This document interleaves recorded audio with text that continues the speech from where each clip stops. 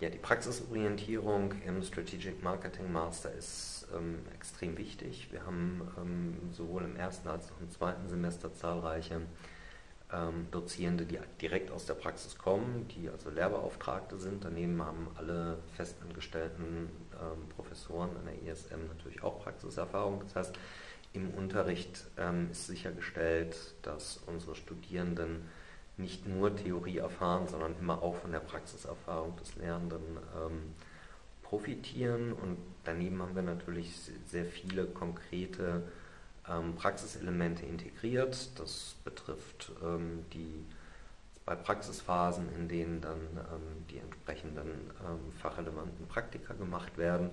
Es betrifft ein großes Praxisprojekt im zweiten Semester, bei dem ähm, Projektarbeit für einen konkreten äh, Auftraggeber außerhalb der Hochschule ähm, realisiert wird.